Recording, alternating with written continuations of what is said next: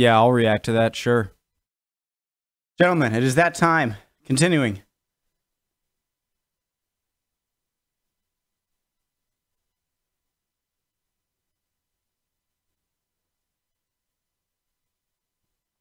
Thought I had to sneeze.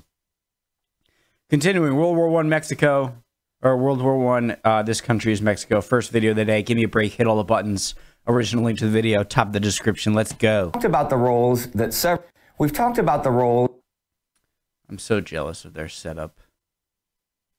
that several neutral nations played in the First World War because even though you didn't actually send an army to fight, you often couldn't help but be involved Is this the Zimmerman telegram? Telegraph? Telegram? in some way or another. One such country was Mexico. Hey, new intro. New.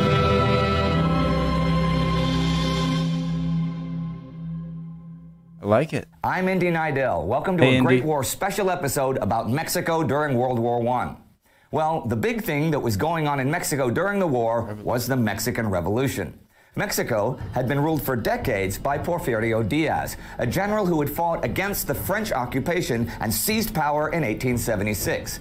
Now, as president, he used brute force to secure his regime and had a real iron grip on the country. So there was a lot of hatred for him from revolutionary factions, though his rule was marked by economic growth, modernization, and stability. So the business community was on his side. Eventually, though, his economic policies allowed wealthy landowners to acquire so much land and wealth that the rural people couldn't make a living. Wages fell, and when he imprisoned his elected rival for president, the revolution began. That is the short, nutshell version. He was ousted from power by Francisco Madero with substantial U.S. aid and abdicated in May 1911. It took six months for Madero to assume the presidency, and in the interim, he called for the dissolution of revolutionary forces. Revolutionary leader Emiliano Zapata, who He looks cool. Gotta admit, not many people I'm sure can pull off that hat. But he has that mustache. Ooh, he looks good. Emiliano Zapata. Fought for the rights of the rural population in the South did not do this because Diaz's federal army was still intact. And then the Congress sent troops under Victoriano Huerta to try to put down Zapata's forces. Madero became president in November and was unable to pass his reforms because there were still many Diaz supporters who were organized and blocked him. He was also murdered in the press, the press that he had restored freedom to. Long story short, that guy, Victoriano Huerta, mounted a coup in early 1913 with the aid of the U.S. ambassador, and Madero soon found himself murdered in real life. In August 1914, Huerta, in turn, was deposed by Venustiano Carranza, who wanted to restore a constitutional government. Among his supporters was Great beard. Pancho Villa. Villa was He is familiar. That name is familiar. Governor of Chihuahua, the general of the North, and a militant leader that fought for a stronger regionalism and self-government. These mustaches. I want. I can't grow one. Carranza exiled Huerta, who sought international help to regain his place and conspired with Germany, but was arrested in the U.S. and charged with sedition. He soon died in prison. So Carranza was president. I gotta shut up about mustaches and whatever and pay attention. stronger regionalism and self-government. Carranza exiled Huerta, who sought international help to regain his place and conspired with Germany, but was arrested in the U.S. and charged with sedition. He soon died in prison. So Carranza was president and would lead Mexico until his assassination in 1920. Although he had been head of the Northern Revolutionary Movement, Carranza was much more conservative than Zapata or Villa, and they soon were his enemies, and now there was civil war in Mexico. Villa's forces were defeated by Carranza's, and Zapata's were pretty much reduced to guerrilla warfare as Carranza consolidated his regime. It was actually under Carranza in 1917 that Mexico's constitution was signed. This was one of the first modern What's with the Heil Hitler salute? constitutions. And in I, I know it had some other meaning. Mexico's constitution was signed. This was one of the first modern constitutions and influenced, among others, the Weimar Constitution in post war Germany. But how were relations with, say, the United States? During the Diaz period, There had been a lot of foreign investment, and during the revolution, the U.S. played a crucial part supporting or opposing various factions. Thing is, the foreign interests under Diaz were mining and oil companies, and they had received a lot of concessions from the Mexican government. Carranza wanted to return the oil and coal money to the people of Mexico. All of this together raised tensions between the United States and Mexico to the point where international observers believed the U.S. This is the Zimmerman Telegraph, correct? Would even invade and try to annex part or all of Mexico. There are a couple of incidents that just have to be mentioned in all of this. The Ipiranga incident. The Ipiranga was a German registered cargo steamer, and it was important twice. The first time, it was the ship that Diaz left Mexico aboard for exile in 1911. Now, a couple years later, when Huerta was president, U.S. President Woodrow Wilson refused to recognize him and suspended the arms trade with Mexico. Huerta negotiated a deal with France and Great Britain, but they didn't want to alienate the U.S., so they hired the Ipiranga to do the deal. At the same time, the U.S. Navy had a small fleet off the port of Tampico. While stationed there, nine U.S. sailors went into the port to buy gas and landed in a military zone. They were arrested. Now, when the Mexican authorities learned of what happened, they released the men and issued an apology. The U.S. government demanded that the U.S. flag be flown over Tampico with a 21 gun salute. Mexico said, no way, and Jesus, like, sorry. Uh, sorry about that misunderstanding. I want a 21 gun salute. Raise the flag. Wilson responded by seizing Veracruz, the largest port in Mexico, in April 1914. Now, this happened hours before the Ipiranga arrived. The U.S. would control the port till November. The Doggo. Ipiranga was not allowed to unload since the U.S. said the weapons would be used against the occupying force. Almost Needless to say, this caused huge anti American sentiment throughout Latin America and almost led to war between Mexico and the United States. The ABC nations, Argentina, Brazil, and Chile, met to defuse the situation. Mexico subsequently declared neutrality in the First World War, which meant that German companies were perfectly welcome to operate in Mexico during the war. There was also the Zimmerman telegram. Carranza had harbored a bit of resentment for the Germans for the support they'd given Huerta. But when the Americans sent troops into Mexican territory to try and capture Pancho Villa, which again nearly began a war between the U.S. and Mexico, he renewed ties with them. The German High Command, for its part, was planning on renewing unrestricted submarine warfare, which would quite likely bring the U.S. into the war on the Allied side. And they figured that if the United States was in a war on its own continent, it would be either less likely to join the war in Europe or less able to send soldiers.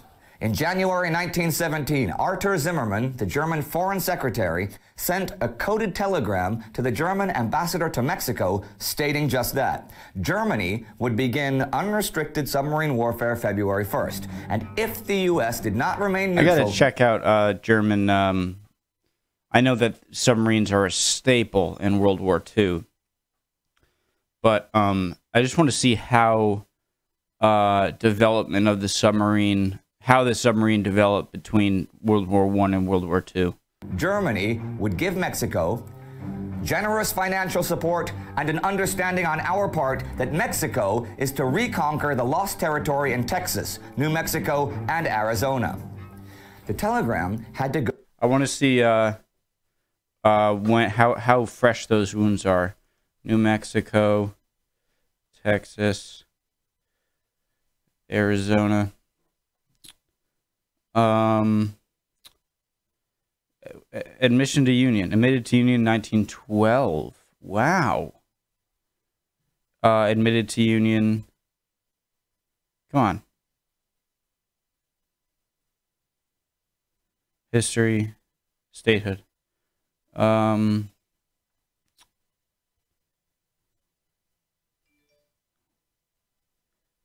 Uh, 1845. So uh, it, the, Texas is a bit old, and Texas is a little less.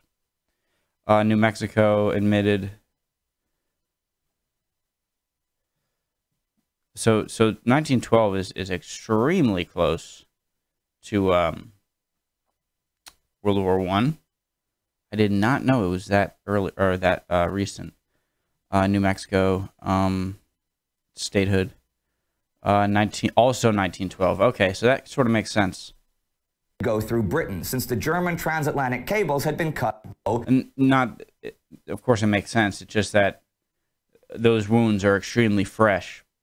Like if you had asked me when did New Mexico and Arizona get statehood, I would have said somewhere in the late 1800s. I think is to reconquer the lost territory in Texas, New Mexico, and Arizona. The telegram had to go through Britain since the German transatlantic cables had been cut early in the war. After that, Wilson allowed the Germans to use the American cable, which the Germans and Americans assumed was secure. It wasn't. The British intercepted and decoded the telegram, which, if released, would cause big anti German sentiment in the States, but would also let the Germans know that their code was cracked and the Americans know they were being listened to. That's so awesome. So obviously the the the the um just like in World War II, I know um, uh, Churchill got on the phone right away with FDR after Pearl Harbor because of how, well, one, it's a tragedy and whatnot, but um, did I say Wilson? Um, Churchill uh, got on the phone with FDR like right away, and you know he needed his help. So I'm assuming whoever was the prime minister in uh, I don't know if they just said it in in 19 uh, during World War One. Um, who was the president?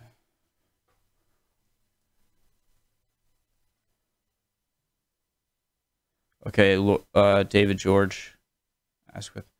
Um, they they would also need their help uh, here. So uh, in World War One, so it's like, hey, we have a perfect opportunity to show the Americans, hey, that Germany's trying to get Mexico to, to, to fight you and invade you, so come join here. But at the same time, you're also letting Germany know that you have their code and that you, you're going to give away the fact that you can get this stuff, that you've tapped the cable, and two, you're going to let the Americans know the same. And so, interesting uh, predicament. Be right back, guys. Okay. Sorry about that. Back. Let's go. The British managed to bribe a Mexican official to do a ciphering subterfuge, which you can look up. It's a bit long for here. so they could eventually show the telegram to the Americans without worry. And the text of it was released to American media. No but would great. also let the Germans know that their code was cracked and the Americans know they were being listened to. The British managed to bribe a Mexican official to do a ciphering subterfuge, which you can look up. It's a bit long for here. I love how sneaky the uh, the British are, and it's really a compliment. I really mean it as a compliment. Um, it just seems like the the British are are kings of intelligence and just smart, smart people. So they could eventually show the telegram to the Americans without worry and the text of it was released to American media on February 28, 1917. So sorry, I, I, I... British managed to bribe a Mexican official to do a ciphering subterfuge, which you can look up. It's a bit long for here. So they could eventually show the telegram to the Americans without worry. Well, well, we need to know what that is in order to understand. And the text of it was released to American media on February 28, 1917, a month after the new submarine campaign had begun. At first, people believed it was a forgery, but Zimmerman himself confirmed it. There was, as you may expect, a huge anti German public outcry, and the U.S. was now one step closer to war. Thing is, Carranza actually had a commission look uh-huh. into war with the U.S. It concluded that the United States was too strong for Mexico to hope to win against, German financial support was unreliable since just in 1916 they'd failed to provide promised funds to support a national Mexican bank. And even if Mexico, by some miracle, won the war, they'd have serious troubles assimilating a huge, well armed, English speaking population. Me Mexico. Hiccups. Mexico. The Germany's just trying to use you here. So Carranza wasn't interested. But as a direct consequence of the Zimmerman telegram, the U.S. officially recognized the Carranza government in August 1917. Mexico still would not join the war, though, since Germany was still a friendly nation. On the other side, Mexico provided as much as 75% of the fuel used by the British fleet. So there you have Really? a brief rundown on the political turmoil in Mexico during the war. Awesome. And a What's couple next? of major events that nearly brought Mexico and the United States into war with each other at several points. Think how differently the world might look today if that had happened. Mexico. So Mexico is much different relationship than Canada with us, obviously. So Canada is an English-speaking language, almost, almost identical. An English-speaking country, almost identical when it comes to culture. Even, uh, uh, you know, an American can't tell if if someone's Canadian. Like you, you can you can grab five Canadians and five Americans and put them in a room and ask them to talk to each other and guess who are the Americans, who are the Canadians without. Like it, my point is, it's hard. But with Mexico, the the language is different, the culture is different, and so uh, like you said, if the U.S. tried to conquer Mexico, or the Mexico or Mexico tried to conquer parts of the U.S. like New Mexico, Arizona, Southern California, Texas, it would be much more difficult than say a Canadian, you know, invasion or or vice versa. So that, it makes it much more difficult. You can read the full text of the Zimmerman telegram by following Like Canada is kind of like our brother, and Mexico is like our neighbor. You know what I mean? I love you guys, Mexico. I hope this doesn't come across as as uh, that you aren't our friends, obviously, but it's just different culture. And I live in the Northeast, so obviously it could be different for someone in the Southwest or, or Southeast, something like that. Following the link below. It is highly inflammatory. We'll also look the world might look today if that had happened. You can read the full text of the Zimmerman telegram by following the link below. Mexico more closely, highly inflammatory. We'll also look at the U.S. expedition into Mexico more closely when we talk about Blackjack Pershing and George S. Patton because they both took part in it. Big thanks to Santiago Molina Torres Arpi for his research Santiago on Molina this episode. Torres. If you want to know more about the USA before they entered World War I, you can watch our special about that right here. Don't forget to subscribe. See you next time. Oh, and esto es la guerra moderna. Esto es la guerra moderna. Excuse me. Uh, Greece is next. Great, awesome, great video. Um, yeah, cool. Mexico, Zimmerman Telegram. Next is Greece. See you guys next time.